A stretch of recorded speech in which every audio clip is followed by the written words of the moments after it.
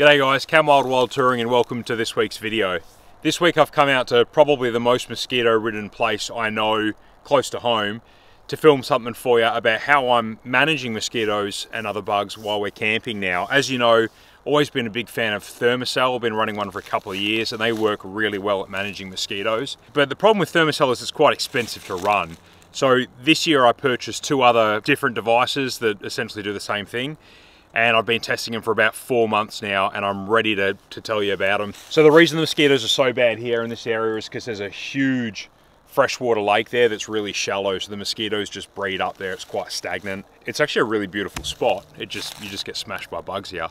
Anyway i'm on the side of the road now. We'll shoot off a little bit further up the road where it's a bit quieter. There's less traffic. And um, as it gets dark and the mosquitoes start to come out i'll show you what i'm using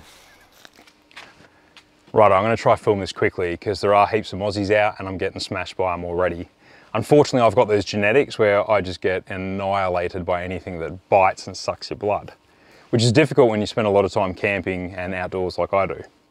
So the way that I manage mosquitoes when I'm camping is through either covering up with long clothes or using DEET, like Bushman's. The higher the percentage of the DEET, the more effective that it seems to work. But I don't really like to put too much of that stuff on. I don't like to put it on my kids because I don't know how safe that is. I, I, from what I've heard, it's actually banned in some countries, not in Australia.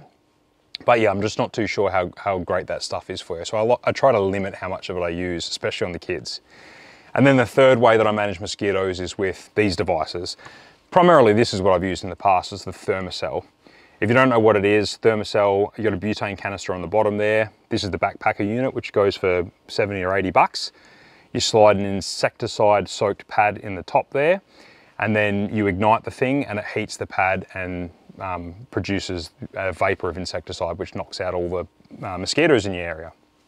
That works really well. These are massive in the States. It's an American brand, and they're massive here in Australia as well. Been around for ages, works really, really well. The only thing that I would say about the Thermacell is that it's expensive to run.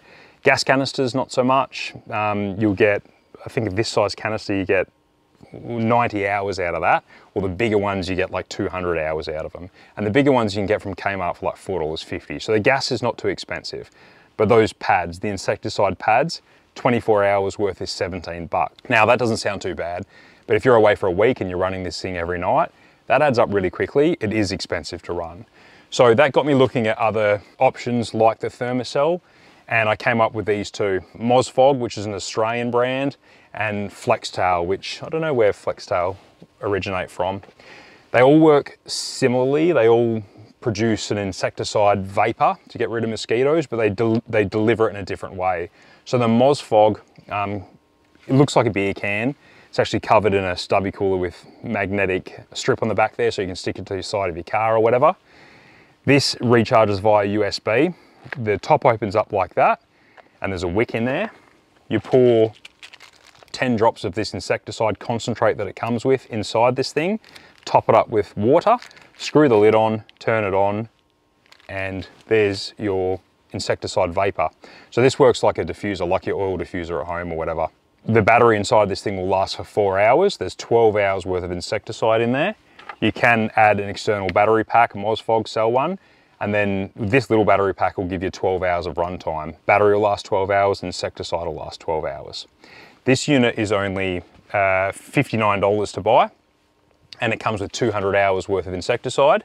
You can buy an additional 400 hours worth of insecticide for 40 bucks. So this is 10 cents an hour to run, and this is um, cheaper to purchase outright as well, to begin with. I've been using it for four months, and it works just as well as the Thermacell.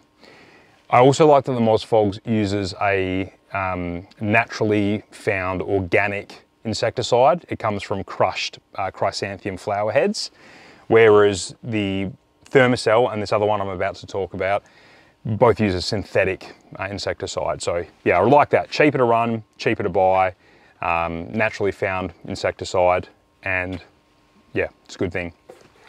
This other one that I bought, the Flextail Tiny Repel, I read heaps, or I watched heaps of positive YouTube reviews for this thing. Um, in my experience, I don't think it's too much chop. It's similar sort of price to buy outright. I've had to write some notes. It was Uh, $78 to buy. It charges via USB, so it's battery powered again. 30 pads is $30. You get 10 hours each out of each pad. It uses similar pads to the Thermacell. Thermacell reckon you only get four hours out of a pad. This brand reckons you get 10. So I don't know about that. You use two pads at a time. It's got a slot for two pads there.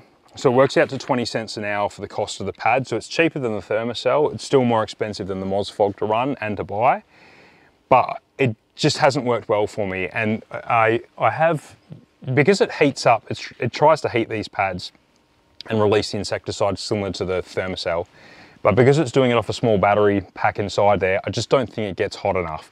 I've ran this thing for ages and I've tested the temperature using a temperature gun Compared to the Thermacell, there is a massive difference in temperature, and I think that's why this is not as effective.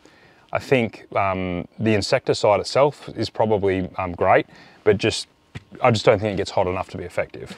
That's my experience anyway. There is a lot of positive reviews for that online, so I don't know, maybe I'm doing something wrong. I don't know. But the Mozfog is the cheapest of all and it works really well. It's Australian owned company and yeah, I rate that. One other thing I was gonna say was I've got a white light up here and I'm using that so that you can see me on camera. You probably noticed bugs have been attracted to it. Mosquitoes are not attracted to white light. Mosquitoes are attracted to the CO2 that you expire. They're attracted to the smell of your perspiration and they're attracted to body temperature.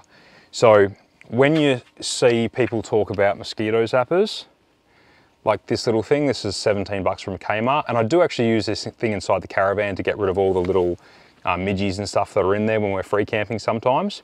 And you can see the moths are getting attracted to it now.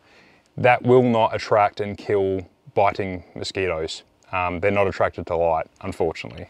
This is cool though because you can use it inside your caravan or a confined space. I wouldn't use any of these inside a confined space. I'd want to use them outside um, in open air environment like I am now.